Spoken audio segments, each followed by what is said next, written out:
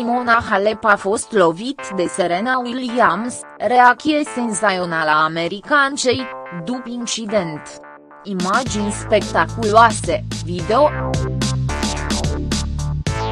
Simona Halep, Serena Williams, Nick Kyrgios, sublinierei franceze Foe au participat, marci, la un eveniment caritabil, Miami All Stars Tennis for Charity, în beneficiul copiilor bolnavi de autism.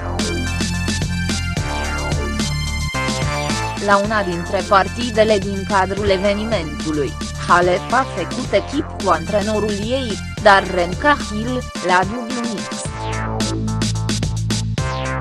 De partea cealaltă a fileului s-au aflat Serena Williams sublinierei franceze Foe. La un moment dat, Serena a luat lucrurile prea în serios, creând un incident care putea fi evitat. Simona Halep, liderul mondial din circuitul FTA, a fost lovit în plin cu mingea trimis de Serena Williams, care a uitat ce meciul de la Miami are un caracter demonstrativ. American ca a dat tare în sfera galben, la fel ca în turneele oficiale, nimerind-o din gre subliniere al pe român. Serena a realizat imediat ce nu a procedat corect, iar expresia de pe fața ei spune totul.